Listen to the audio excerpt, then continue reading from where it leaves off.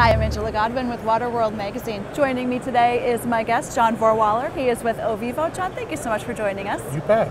Pleasure. Now, we, uh, we spoke not too long ago, last year at WEFTEC, um, about uh, a concept called systematic inventive thinking. Um, and it's something that's led to some interesting innovations uh, yeah. for Ovivo, and we're going to talk about uh, another one of those today. Tell me a little bit about what we're going to look at. Yeah, last time we talked about the reverse manifold device and also the sludge return device. Um, great ideas. We have patents on those. And now this one, the submerged effluent launder, has led to a third patent. Um, basically, it's the FRP components that are in a clarifier. Uh-huh. This system combines five components into one. It acts as a scum baffle. This is where the water level would be. It acts as a density current baffle. It also acts as a weir and a launder.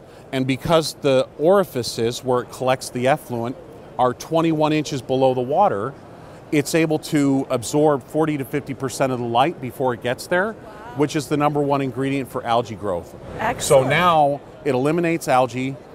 It is a five component system. Therefore, there's uh, significant savings in installation costs. It's about 50%.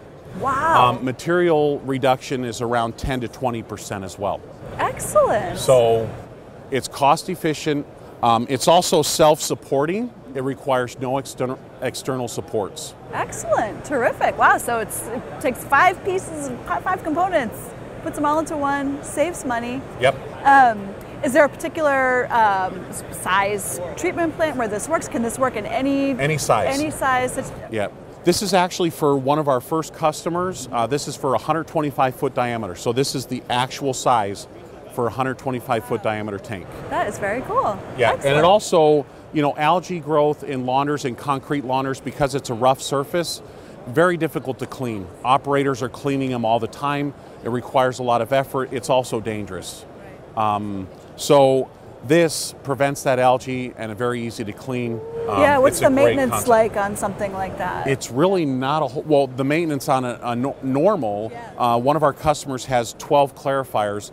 They literally clean the weirs and the scum baffles just right at the surface without taking it down, not scrubbing the concrete launder, but just hosing down the algae at the surface at those two surface uh, points. Wow. The weir and the scum baffle.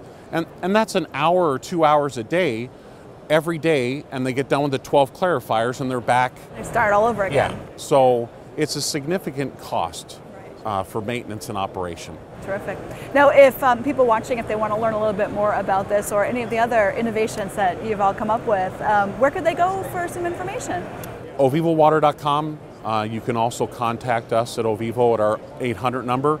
Um, and we'll be able to provide brochures um, and we can do a cost estimate if we have some drawings uh, to look at and we can give an estimate on that. Excellent. John, thank you so much for joining yeah. me. I really appreciate yeah. it. Thanks so much. All right. For All right. Water World Magazine, I'm Angela Godwin.